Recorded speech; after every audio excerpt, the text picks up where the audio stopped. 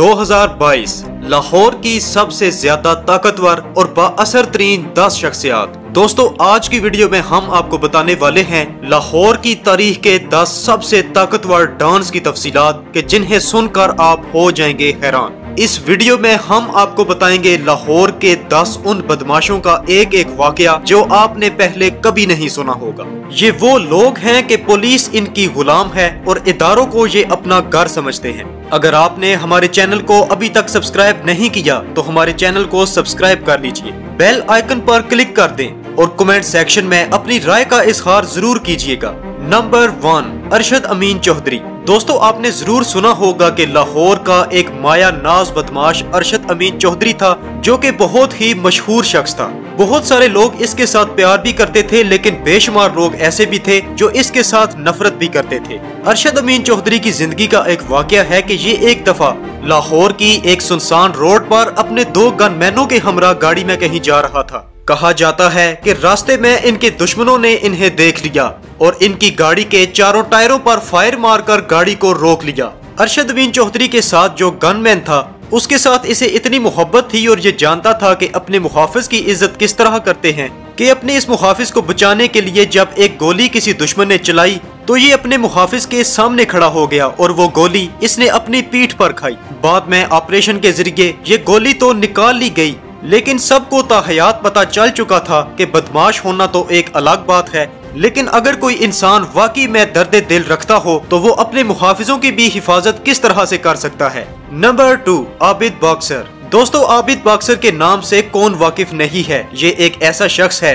जिसने शहबाज शरीफ के कहने पर बकौल इसके बेशुमार लोगों को कत्ल किया है और कई लोगों को पुलिस मुकाबले में पार करवाया। आजकल ये पाकिस्तान के अंदर आया हुआ है और इसने मुख्तलिफ़ सियासी लोगों पर पर्चे दिए हुए हैं। लेकिन आबिद बॉक्सर की ज़िंदगी में बेशुमार वाकयात में से एक वाकया ये है कि ये पाकिस्तानी अदाकारा नरगिस के साथ बहुत ही ज़्यादा मोहब्बत करता था। बहुत सारे लोगों का मानना है कि इसकी ज़िंदगी का ये एक डार्क वाकया है कि ये एक जहनी मरीज़ है। कहा जाता है कि जहनी मरीज़ लोग जब बहुत ज़्यादा किसी से प्यार करते हैं तो उसे अजियत पहुंचाना शुरू कर देते हैं। ऐसा ही इसने अदाकारा नरगिस के साथ किया। इसने नरगिस को मना किया कि ये आज के बाद दूसरे लोगों के साथ पैसे लेकर पार्टीज़ नहीं करेगी। जब ये औरत बाज ना आई तो आबिद बाक्सिर ने इसे घर से बाहर निकाल कर तमाम शहरियों के सामने इसे सड़क पर बिठाया।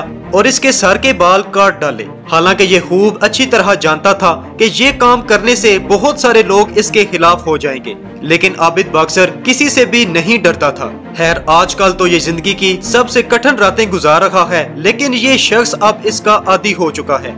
Number three, Atif Chaudhary. दोस्तों, कहा जाता है कि आतिफ चौधरी एक बहुत ही बदनामे जमाना बदमाश था लेकिन इसकी एक बात यानी एक वाकया बहुत मशहूर है। वो ये है कि ये अपने टीचर्स की बहुत इज़्ज़त किया करता था।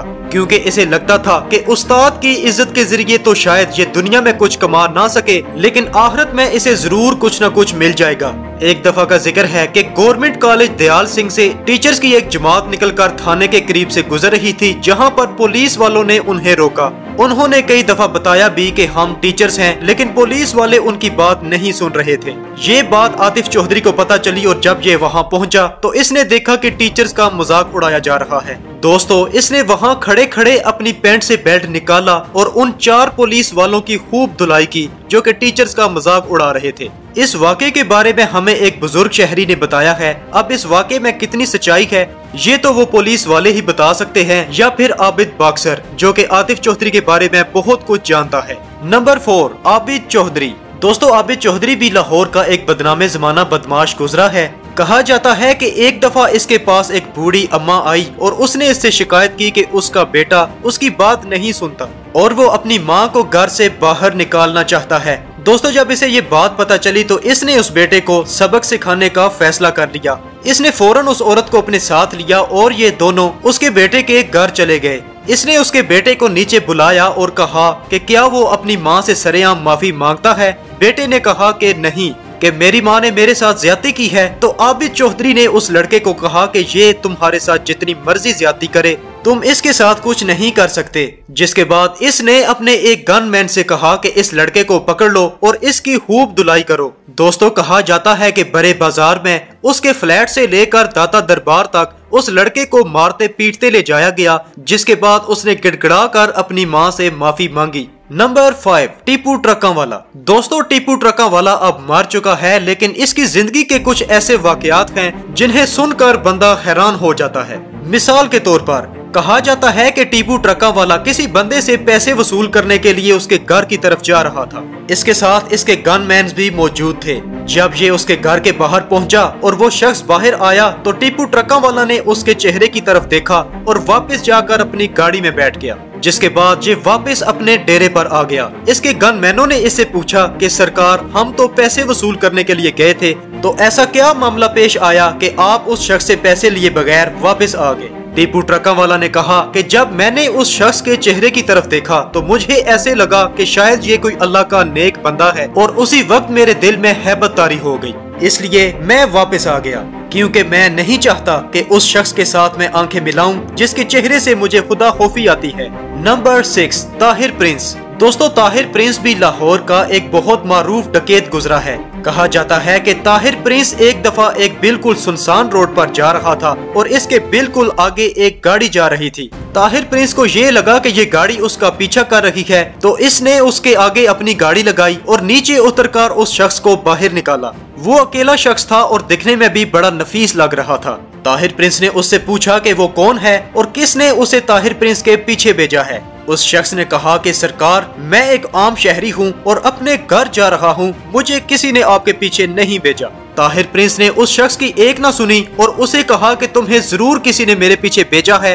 और उस शख्स को गोलियाँ मार दी। ताहिर प्रिंस कहता है कि, जब मैं घर वापस पहुँचा तो अगले दिन मैंने अखबार में पढ़ा कि एक सुनसान रास्ते पर चार बच्चों के वालिद को किसी ने कत्ल कर दिया है। ताहिर प्रिंस कहता है कि मुझे तब लगा कि मैंने बहुत बड़ी गलती कर दी है और अब मेरा काम तमाम हो जाएगा। और फिर यूँ ही हुआ। ताहिर प्रिंस को 2002 में पुलिस ने एक इनकाउंटर में कत्ल कर दिया। Number seven, Shahid मियो।